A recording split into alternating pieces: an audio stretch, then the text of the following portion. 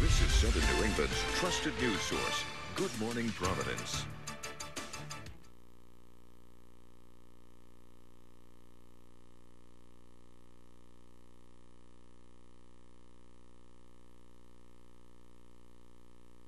Look outside now of our downtown Providence studios at 6 o'clock. Good morning. Thank you for joining us.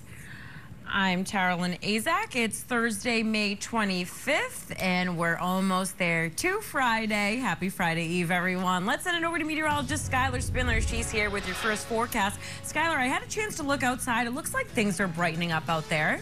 Yeah, starting to. I mean, we have some cloud coverage in place, and we had those rain showers that moved through in